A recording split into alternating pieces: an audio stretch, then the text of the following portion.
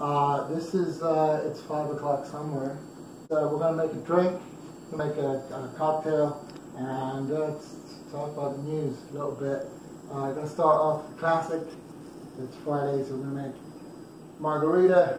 Uh, Facebook just uh, reversed their policy on flagging posts that incite violence or voter suppression. And they did this after a boycott of advertisers. Uh, and it's good to know that the people over at uh, the last wallet you'll ever need are finally taking a stand on something. Some of the advertisers that boycotted, boycotted Facebook were quite big, like Ben and Jerry's. This isn't really that brave when you think about it, because like, it's not like people are eating less ice cream right now. You know what I mean? Like Ben and Jerry's could rename themselves Phil and Tony's Rancid Whale Excrement, and I'd still get through about two pints of that shit a week. Uh, all right, we're doing two different rims on these margaritas. We're doing a sugar rim. Beautiful. Same goes with the salt. Uh, a bunch of pastors in Seattle uh, have uh, asked people to uh, restrain from tearing down statues of, quote, white Jesus, which I kind of get because Jesus sort of looks like a Confederate general. You think? You know, he's Caucasian, he's got the beard, he's got like that white linen suit. You know, he says shit like glory, glory, hallelujah. He refers to dinner as supper.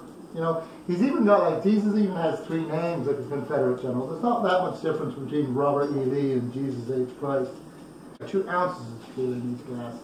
So four ounces totally. Lime, some lime in there. Triple sec. I put in like maybe an ounce of triple sec. Make sure you drop the, uh, the lid. Nice. There's a woman in England. Uh, she has two wombs, and she's carrying twins.